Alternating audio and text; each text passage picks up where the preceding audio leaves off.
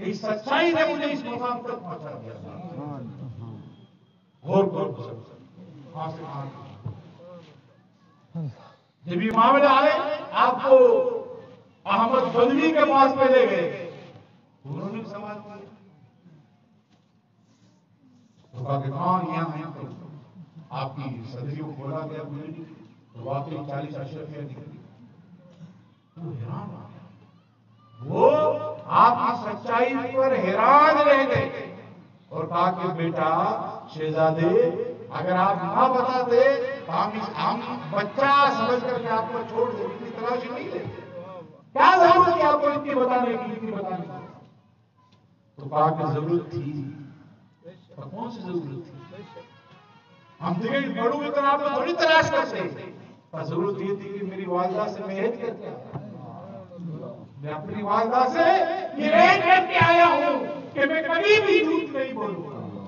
तो मैं इस हेज कैसे ये जुमला था हज़रत अहमद बदवी रहमतुल्लाह पर तीर की तरह वो दिल में प्रवेश।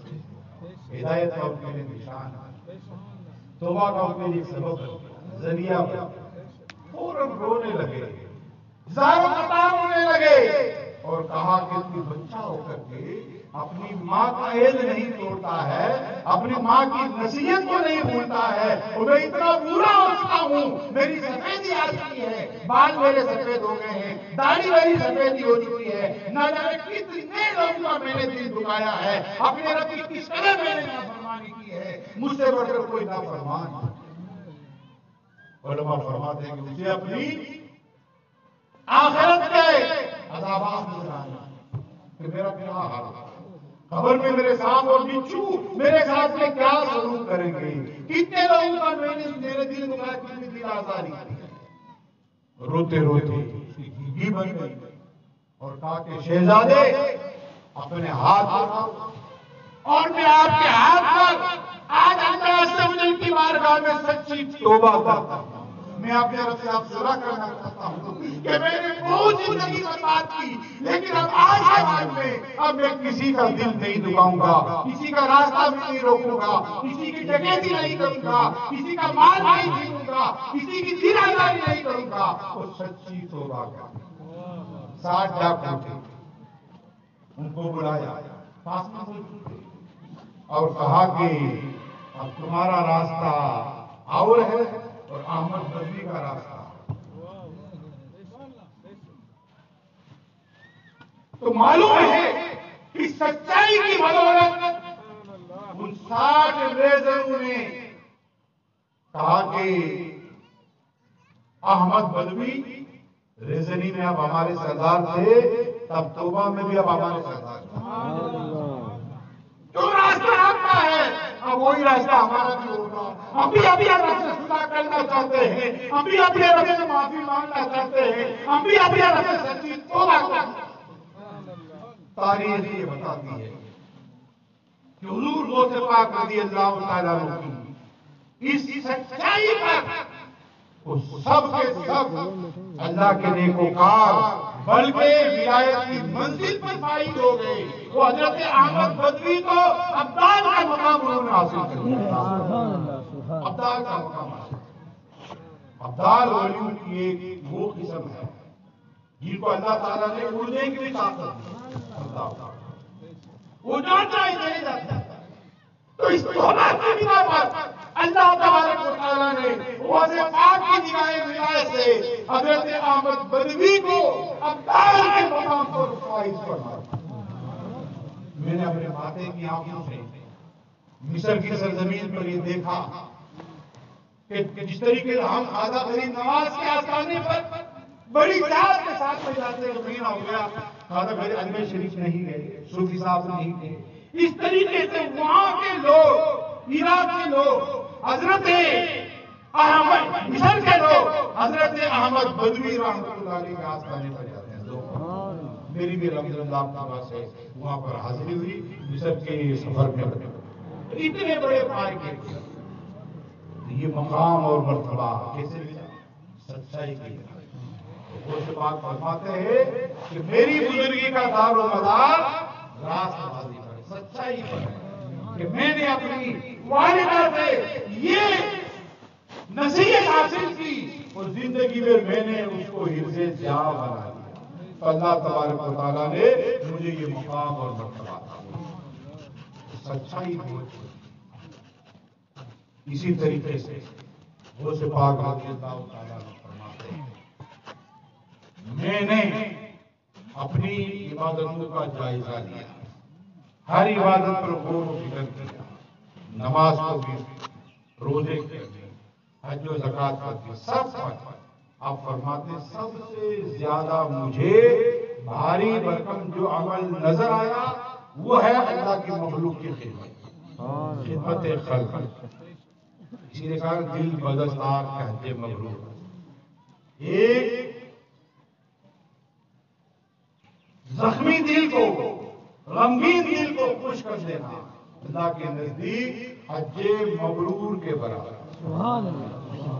आज हम चलते हुए दिल दुखा देते हैं। दिल तोड़ देते हैं बताओ गरीब होता है उसको डांट देते हैं। फकीर आता है उसको झिड़क देते हैं।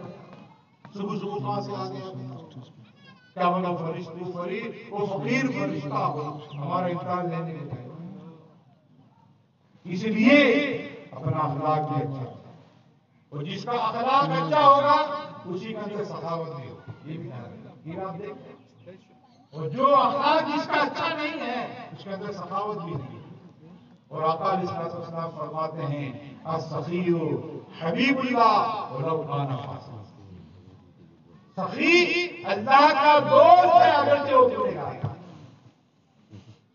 तो खिदमत खल पाक फरमाते कि मैं अपनी तमाम इबादत का मैंने जायजा लिया तो सबसे भारी भरकम जो मुझे इबादत नज़र आई वो है अल्लाह की मखलूक की आप फरमाते हैं अगर पूरी दुनिया की मेरे हाथ में दौलत आ जाए तो मैं अल्लाह की मखलूक की खिदमत के लिए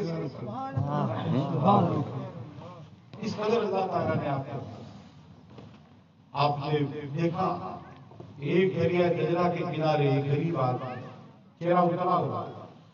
दरिया फरमाया क्यों ऐसा कहा मुझे दरिया के दूसरे किनारे जाना था दजरा के लेकिन कश्ती वाले ने मुझे बिठाया। तो क्यों नहीं बिठाया? कि मेरे पास पैसा नहीं किराया नहीं आपका बहुत और उस वक्त में आपकी जेब में कुछ नहीं था।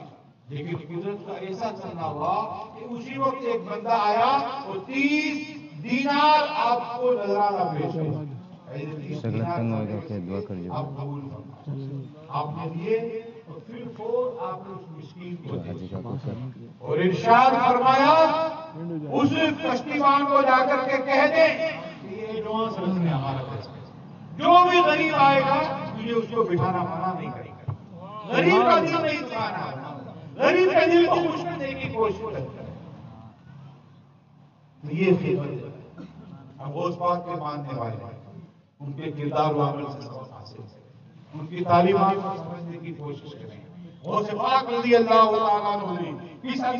ज़िंदगी गुजारी है, इसी अंदाज में हमें भी ज़िंदगी गुजारने की भरपूर कोशिश करनी चाहिए। का में ग्यारहवीं शरीफ की चाहत किसके दिल में नहीं है?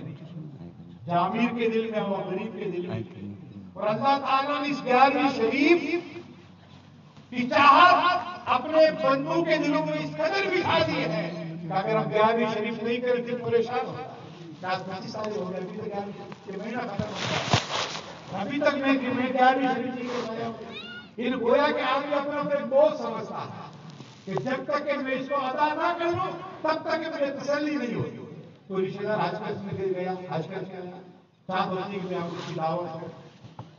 और अपने आप का आदमी वो समझता है। कि मेरा फलां करीब रिश्तेदार आया है तो मैंने इसकी दावत नहीं जब तक ऐसे फारिग नहीं होते उस वक्त तसली नहीं होती तो बिला तफसीर तस्वीर इसी तरीके से हुजूर गौसे पाक रज़ी अल्लाह की नियाज की मोहब्बत आज अल्हम्दुलिल्लाह अल्लाह ताला ने अपने बंदों के दिलों में इसी कदर पैदा किया। बेशक। क्या अमीर क्या गरीब हर एक ही करने की कोशिश करता है। लेकिन इस बात को याद रखें न्याजी थोड़ी लगाए या ज़्यादा लगाए उसका खूब पका देते हैं कई एक देख चढ़ा देते हैं। लेकिन खाना कोई वहाँ खा रहा है, कोई खा रहा है। पुजारी के पास में खा रहा है। ऐसा नहीं होना चाहिए। जिस एहतमाम के साथ में आप 12 महीने तक आप अपना जहन बनाया था कि उस पाक की ग्यारहवीं आएगी, अपने कारोबार से बचा बचा करके आपने रखा और उस पाक के न्यास आपने इतना लंबा एहतमाम किया। अब खाने खिलाते होते आप एहतमाम नहीं करते एहतराम नहीं करते। ये ईमान अदब से खिलाएँ। साफ़ साफ़ सुथरी जगह पर बिठा के खिलाएँ। और खाने वालों को भी चाहिए कि वो खाते वक्त में गफलत न बने, बल्कि अपने एक हाथ नीचा रखें। ताकि कोई न्याज का दाना ज़मीन पर खाए ये भी ध्यान रखना हुजूर आला हज़रत अली रहमत रिजवान के बारे में आता जब आप पूछा या न्याज वगैरह खाते थे तो कुल्ली नहीं करते